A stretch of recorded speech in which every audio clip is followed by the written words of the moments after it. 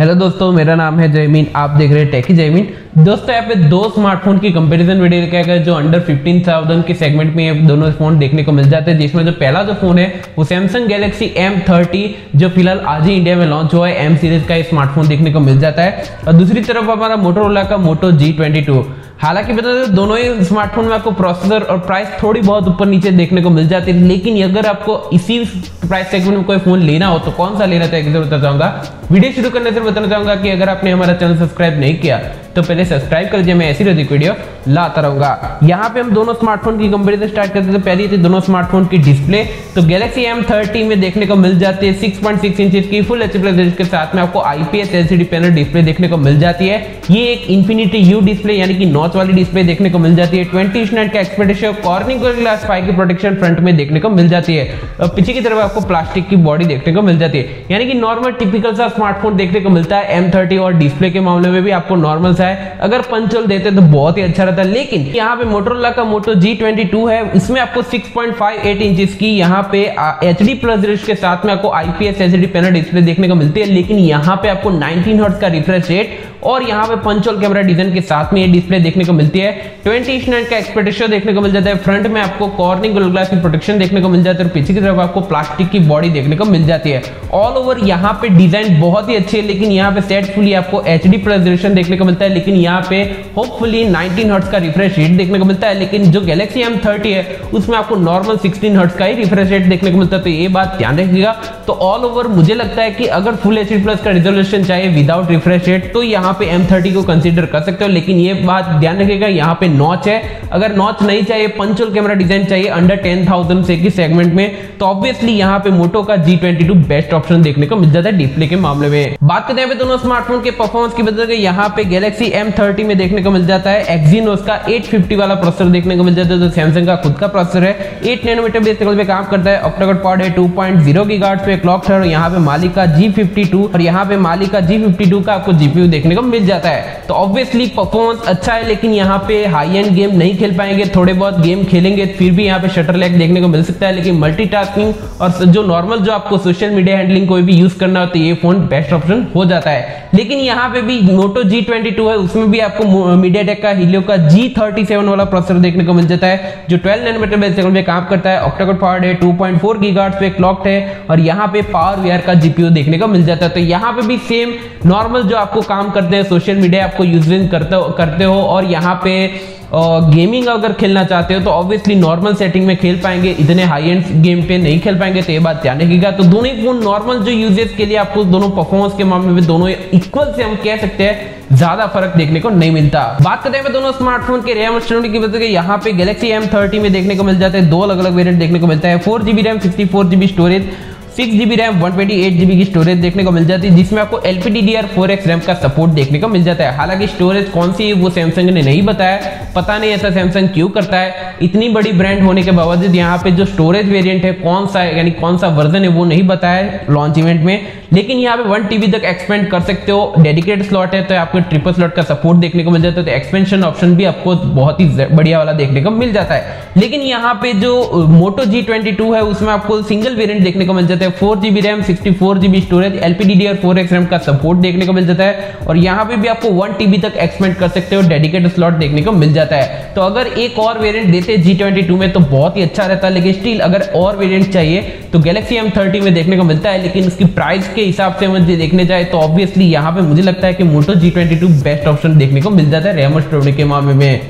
दोनों स्मार्टफ़ोन के रियर कैमरे यहाँ गैलेक्सी एम थर्टी में आपको ट्रिपल रियर कैमरा सेटअप देखने को मिल जाता है। प्राइमरी लेंस फिफ्टीन मेगा का देखने को मिल जाता है एफ़ वन पॉइंट के साथ में।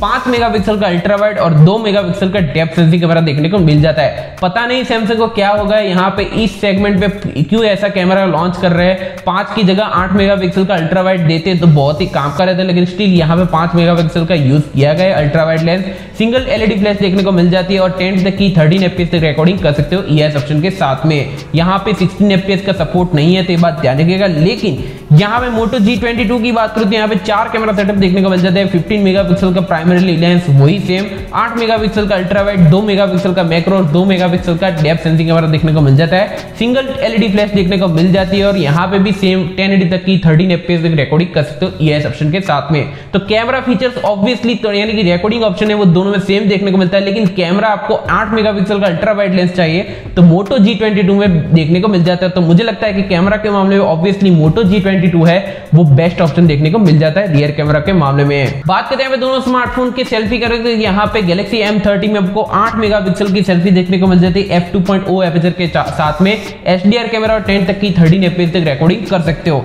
पता नहीं ऐसा क्यों किया? अगर 16 मेगापिक्सल या 30 या 12 मेगापिक्सल का देते तो थोड़ा बहुत अच्छा रहता, लेकिन स्टिल यहाँ पे 8 मेगापिक्सल यूज़ किया है। लेकिन यहाँ पे जो मोटो G22 है, उसमें आपको 16 मेगापिक्सल की पंचोल सेल्फी देखने को मिल जाती है f2.45 एपिचर के साथ में एच कैमरा और 10 तक की 13 एपीएस रिकॉर्डिंग कर सकते हो। ये बहुत अच्छी बात है ऑन द पेपर और जो आपको एक जो कहते हैं ना कि परफॉर्मेंस अच्छा चाहिए सेल्फी कैमरा में, और अच्छा मेगापिक्सल काउंट चाहिए कैमरा वाला तो यहाँ पे मोटो G22 बेस्ट ऑप्शन है सेल्फी कैमरा के मामले में as compare to Galaxy M30 अब कहते हैं दोनों स्मार्टफ़ोन की बैटरी सॉफ्टवेयर की, बताएँगे गैलेक्सी M30 में आपको 6000 थाउज़ेंड की आपको बैटरी देखने को मिल जाती है, वहीं पे आपको मोटो G22 में आपको फाइव थाउज़ेंड की आपको बैटरी देखने को मिल जाती है, लेकिन गैलेक्सी M30 में आपको 15 वाट की फास्ट चार्जिंग का सपोर्ट और इन द बॉक्स चार्जिंग देखने को मिलता है, लेकिन वहीं पे पे मोटो G22 में आपको 20 वोट का टर्बो चार्जर देखने को मिल जाता है। कि चार्जिंग स्पीड आपको ज़्यादा देखने को मिल जाती है as compare to Galaxy M30 तो ये बात जाने के लेकिन स्टिल मुझे लगता है कि बैटरी कैपेसिटी वो ज़्यादा देखने को मिल जाती है गैलेक्सी M30 में। सॉफ्टवेयर की बात करूँ तो दोनों में आपको Android 12 out of the box देखने को मिलता है, लेकिन गैलेक्सी M30 में आपको वन UI 4.1 का कस्टमाइजेशन देखने को मिल जाता है। वहीं पे आपको मोटो G22 में आपको स्टॉक एंड्रॉइड एक्सपीरियंस देखने को मिल जाता है। तो अगर आपको स्टॉक एंड्रॉइड पसंद है ज़्यादातर तो मोटो G22 कंसीडर कर सकते हो। लेकिन आपको सैमसंग का फ़ोन का वन UI पसंद है तो ऑब्वियसली यहाँ पे सैमसंग का M30 कंसिडर कर सकते हो। बात करते हैं दोनों स्मार्टफ़ोन के कनेक्टिविटी सेंसर की वजह दोनों ही स्मार्टफ़ोन में आपको सेम कनेक्टिविटी सेंसर देखने को मिल ज़्यादा फ़र्क नहीं है। नॉर्मल सेंसर पर सभी सेंसर देखने को मिल जाते हैं। दोनों ही फ़ोन में आपको साइड माउंटेड फिंगर सेंसर का सपोर्ट देखने को मिल जाता है। टाइप सी का पोर्ट है 3.5 पॉइंट mm का ऑडियो जैक देखने को मिल जाता है। ट्रिपल स्लॉट देखने को मिल जाता है। ड्यूल बैंड वाईफाई का सपोर्ट ब्लूटूथ का 5.1 और सिंगल स्पीकर का सपोर्ट देखने को मिल जाता है। तो कनेक्टिविटी सेंसर के मामले में कोई भी आपको प्रॉब्लम या कोई भी आपको कंपेरिजन देखने को नहीं मिलती। बात करते हैं दोनों स्मार्टफ़ोन के कलर रेंज और प्राइस की गैलेक्सी एम थर्टी में आपको तीन अलग अलग कलर वेरिएंट देखने को मिलता है, लेकिन प्राइस की बात करते हैं जो बेस वेरिएंट है, वो आपको ग्यारह हज़ार की प्राइस में फ़ोन देखने को मिल जाएगा, और उसकी जो यहाँ पे जो दूसरा जो वेरियंट है, वो तेरह हज़ार की प्राइस में फ़ोन देखने को मिल जाएगा, और इसकी जो सेलिंग है ट्वेंटी थर्ड ऑफ़ जुलाई को इसकी सेलिंग स्टार्ट हो जाएगी। अमेजोन पे तो मैं इसका लिंक है, वो आपको डिस्क्रिप्शन बॉक्स में दे दूँगा परचेज कर सकते हो। लेकिन यहाँ पे मोटो जी ट्वेंटी टू है, उसमें भी आपको तीन अलग अलग कलर वेरियंट देखने को मिलता है। लेकिन प्राइस की बात करते हैं यहाँ पे सिंगल वेरियंट है। तो इसकी प्राइस अभी फ़िलहाल जो चल रही है, वो दस हज़ार की प्राइस में फ़ोन देखने को मिल जाता है। और इसकी जो सेलिंग है,